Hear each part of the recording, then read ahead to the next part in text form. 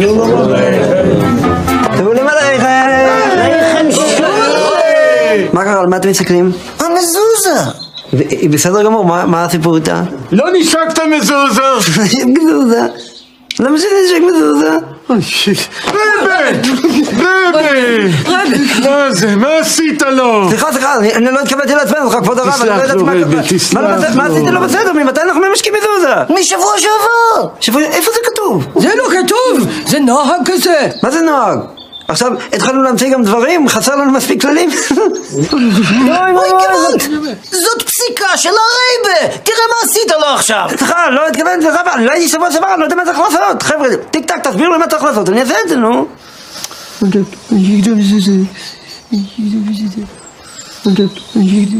אתה לא השקת מזוזה. בסדר, אז לא ידעתי איך זה... מה, ככה? אוי! לא ככה! עם היד! קצת מוזר, אבל אני זורם איתכם רק עם היד! רק! רק עם היד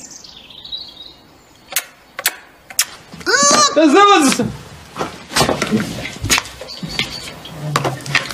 אה, זה הסיפור הגדול אז ככה, תגידו ככה, מה אתם צריכים לצעוק עליי? זהו, זהו, זהו, גמרנו, אפשר להמשיך, אפשר לדעת משמע הופלה מה זה, למי נפלה הכיפה? יופי די, די. נו, תנשק אותה. מה זה נשק?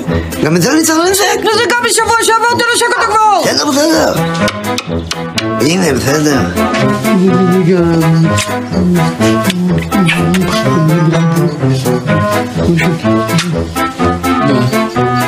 דרך אגב, איפה אתה היית כל השבוע שעבר? עוד פעם תזכיר שבוע שעבר אני כל השנה מגיע פעם אחת לא מגיע אתה עושה מזה סיפור יצא לי איזה פיצון כזה ליד הפה עם כזה מוגלה מגעיל כזה הלכתי לרופא הוא אמר לי שזה הרפס